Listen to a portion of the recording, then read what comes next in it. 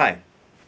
So we all do things that we hope no one saw that we did, and when they do see what we did, we adamantly argue that we did not do exactly what they just witnessed.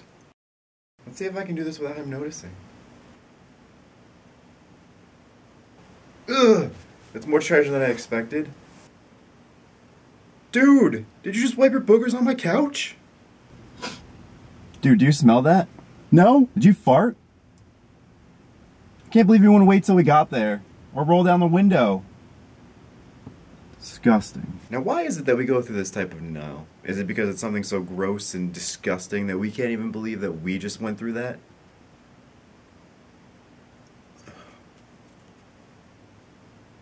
Did you just flick your earwax on my floor?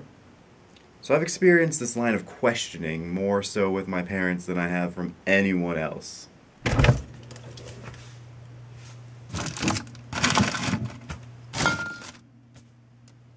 Do you want my food?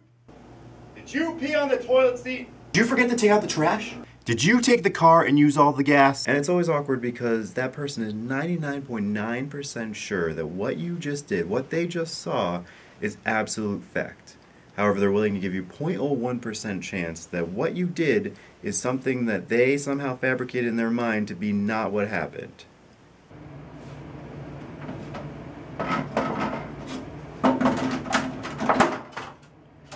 Did you use the last of the toilet paper? What were you thinking?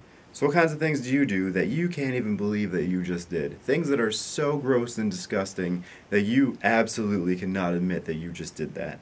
Please leave a comment. Let me know that I'm not the only crazy person that's out there. Did you fart? No? I can't believe you want to roll down your window. Disgusting. Did you want my food?